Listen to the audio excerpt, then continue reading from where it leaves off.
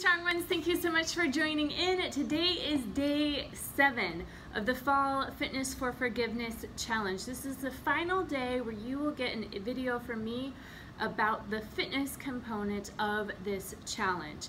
This challenge is all about opening up our mind and opening up our body at the same time through this practice of letting go.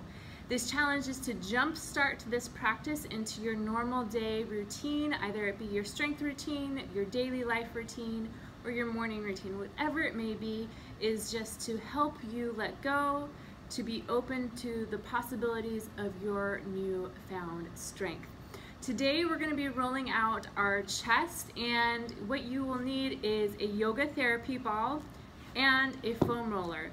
If you are interested in purchasing a yoga therapy ball, the link is down below where you can purchase those. If you don't have one, no worries. You can use a lacrosse ball or a tennis ball. I'll also have a link down below where you can also purchase your own foam roller. I'll make sure to share what type of foam rollers I personally like and that I don't like with that description down below.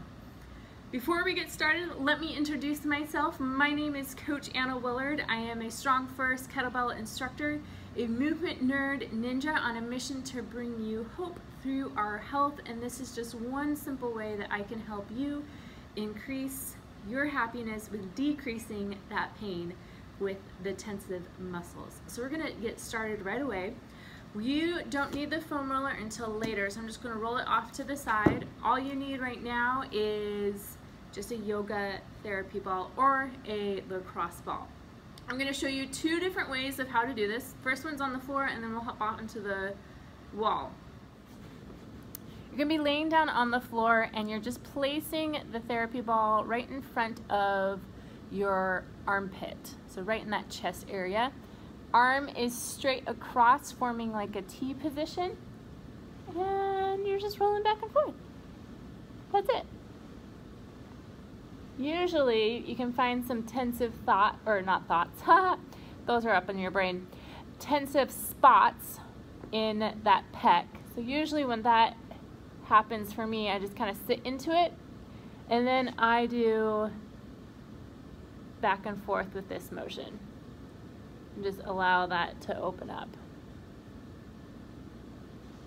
And then just go back and forth again. And that's it. Yeah, it's a goody one, a goody one. It's a good one. Now we're gonna show you up on All right, we're gonna get nice and close up and personal with uh, the wall, the ball, and yourself. just so you can see a little bit better, it's a description of where the ball is. It's here and it's just moving back and forth. If you need to, you can move it up and down. So the floor is probably the most intensive spot that you can do this rolling out position. On the wall is the second least tensive or intensity of it Third would just be taking your hand and going back and forth here or here. So if you have a really tender pec muscle, I would say use your hand, go to the wall, then onto the floor. So I've showed you the most intensive position on the floor, easiest or least tensive position rolling out your with your hand. Now we'll go to the wall. We're here. Yep, see I told you really up close and personal.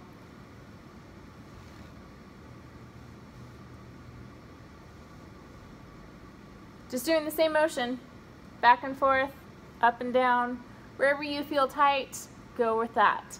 Then once you find that tensive spot, moving the arm. Alright guys, so you have seen the three different ways that you can roll out your chest.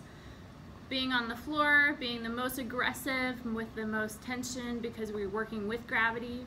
Second, being up against the wall. And then third, just using your hands. So whatever you need, go with what your body needs.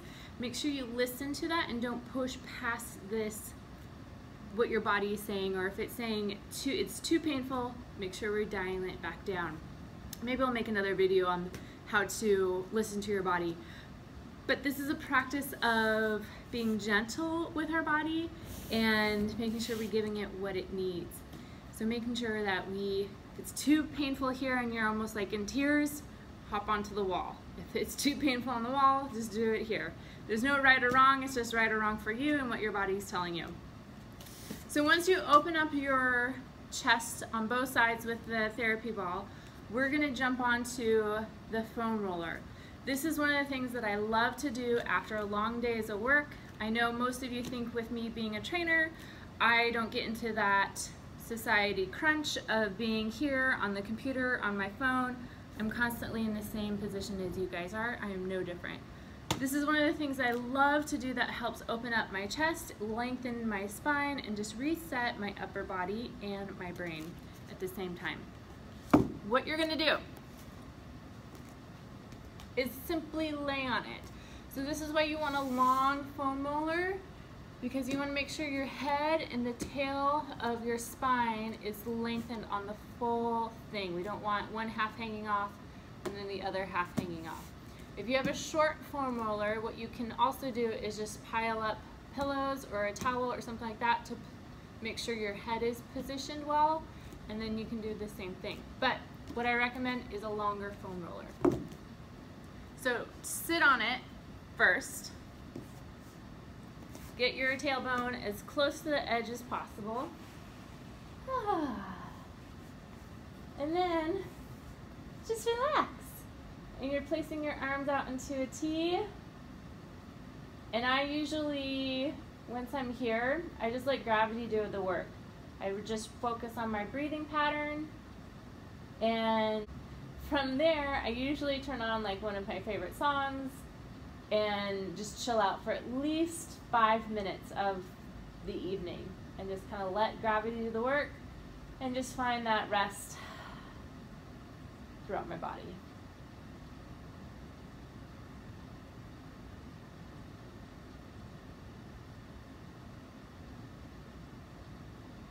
Oh, I'm still on. Okay.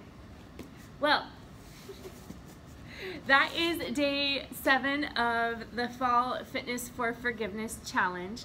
Thank you for joining. I hope this helped open up your body in a position that alleviated some pain or some stress muscles.